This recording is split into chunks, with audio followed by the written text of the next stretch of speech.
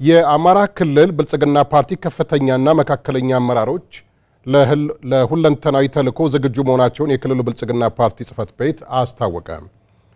የክልሉ ብልጽግና ፓርቲ ጽህፈት ቤት ኃላፊ ግርማ የሽጥላ በክልሉ ሀገራዊና ወቅታዊ ጉዳዮች ላይ በከፍተኛ አመራሮች ለተከታታይ ሶስት ቀናት የተደረገውን ውይይት በማስመልከት መግለጫ ሰጥተዋል። መግለጫውን ዳኝነት አማረ ያቀርበዋል። የአማራ ክልል ብልጽግና ፓርቲ መካከለኛና ከፍተኛ አመራሮች የክልሉና የሀገሪቱን ወቅታዊ ሁኔታ በሚመለከት ለሶስት ተከታታይ ቀናት ውይይት አድርገዋል። ውይይቱ የአሸባሪውን የትግራይ ወራሪ ኃይል ከንቱ ምኞት በኢትዮጵያውያን አንድነት የከሸፈበትን ድል ለማስቀጠል አመራሩ በትጋት እንዲሰራ ትኩረት የተደረገበት መሆኑን የአማራ ብልጽግና ፓርቲ ጽህፈት ቤት ኃላፊ አቶ ግርማ የሽጥላ ተናግረዋል።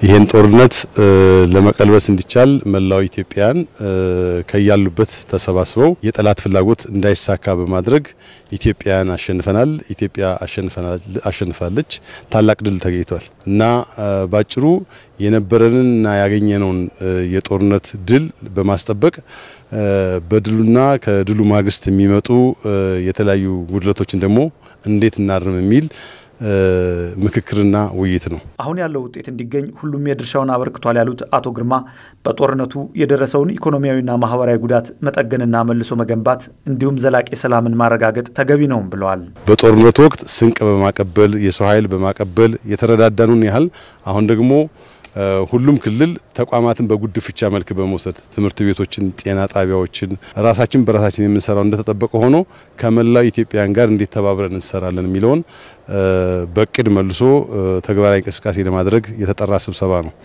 ይሄም መዋቅር የተጠራው እና የተወያየው በራሱ ስራውን እንዲሰራ ብቻ ሳይሆን ራሱ ሊሰራ እንዲችል አንድ ስምሪት መስጠት ተገቢ ሆኖ መላውን ህዝብ ማስተባበር አለበት። መላው ህዝብ በጉዳዮች ላይ ግልጽ መሆን አለበት። በዚህ ውስጥ የተዛነፈ የባንዳነት ስሜት ያላቸው ድሉን ለማንኳሰስ ድሉን ለመነጣጠቅ የሚሞክሩ ሰዎች አልተጠፉ። ስለዚህ አሁን እንዳቆጠቆጠ በእንጭጩ መቅረፍ ይገባል። የአማራ ብልጽግና ፓርቲ ጽህፈት ቤት ኃላፊ አቶ ግርማ የሽጥላ ጦርነቱ አልተጠናቀቀም፣ አሸባሪው የትግራይ ወራሪ ኃይል አስጊ የማይሆንበት ደረጃ እስኪደርስ ድረስ አመራሩ ህብረተሰቡን የማደራጀት ስራ በቁርጠኝነት ይሰራል ብለዋል። ልማቱን እያከናወን የተጎዱ ወይም ደግሞ መስዋዕትነት የከፈሉ ዜጎች አሉ።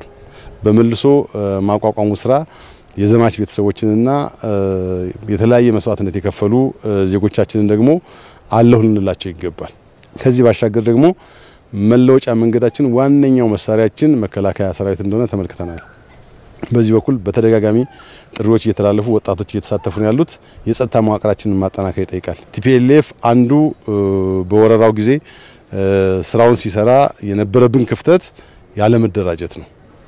ሚሊየን ካልተደራጀ ህዝብ ይልቅ አንድ ሺህ የተደራጀ አካል አቅም ይኖረዋል።